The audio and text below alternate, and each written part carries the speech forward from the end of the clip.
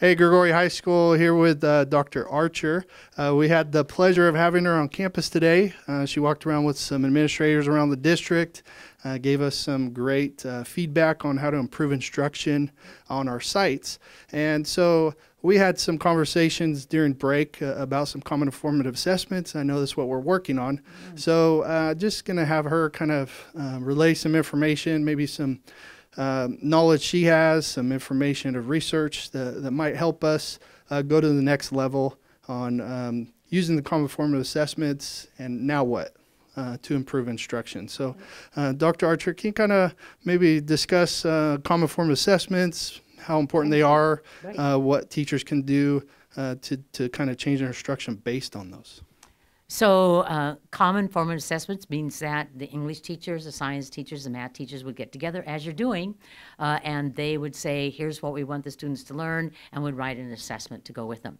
The best book on this, uh, which has many high school examples, is Embedded Formative Assessment. That's the title uh, by Dylan Wiliam.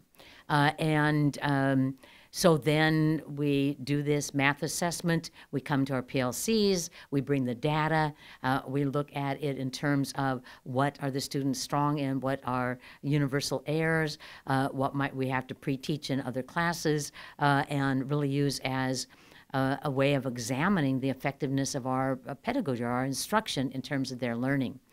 Uh, so that is one critical part of of formative assessment. And common ones uh, make it so that we have to collaborate, we have to agree on what they should learn, we agree on how we should measure it, uh, and we have these consistent measurements over time.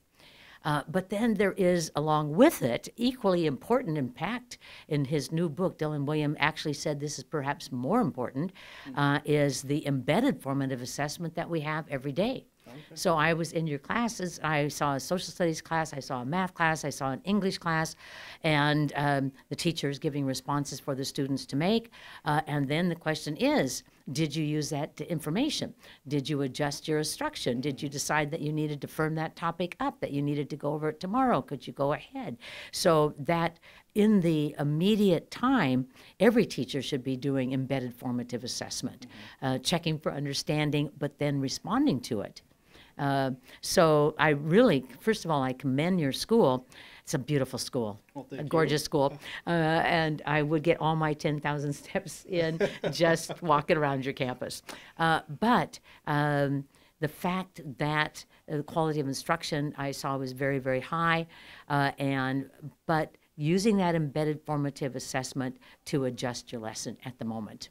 So using the common form is kind of a global when they're working with their department or, or grade level, subject level, this really would drill down to uh, in the day to day formative assessments moment in your moment. classroom, moment to moment, yep. um, planning. You know, I've I've done all this work to plan a great lesson. How do I know when the students leave right. the room that they understood what well, we're trying to teach? Time of embedded form assessment, an exit ticket. Okay. Uh, I write down what they do, uh, but. Um, uh, having them uh, do also uh, one of my focuses today on high schools is what's called retrieval practice, where uh, you've uh, taught maybe concepts in your social studies class on uh, a certain concept, and then you say, stand, face your partner. One's tell your partner as many things as you remember about that topic as possible. Mm-hmm. Two's count the number of ideas, then add to it. Uh, that is also a form of embedded formative assessment, but it contains retrieval practice. You have to retrieve from memory what I've taught you. And that's where learning occurs. It is the rehearsal, it is the retrieval that makes a difference. Well, I, I want to say thank you for spending time interviewing with me. I wish I could have um, gone to all 100 classes at this school site. Uh, yeah. yeah. Well, they're all as wonderful as you saw. So. Oh, they are excellent, perfect. Uh, but you do, and you know, I just want to give you some compliments because I go to many high schools all across our nation and all across Australia, uh, and uh, when I look out between classes or during classes, I see almost no children wandering around. They're in class. I didn't see any, not one child in the hallways who, uh, unless they were designated to work with like three other people on the steps, one case.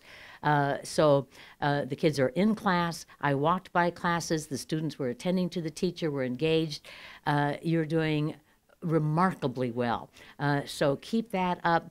The children deserve it. And you deserve it because what you do creates the whole climate here uh, for your kids. So it was a real pleasure uh, to be here. Thank you. Thank you. Thank you for your time.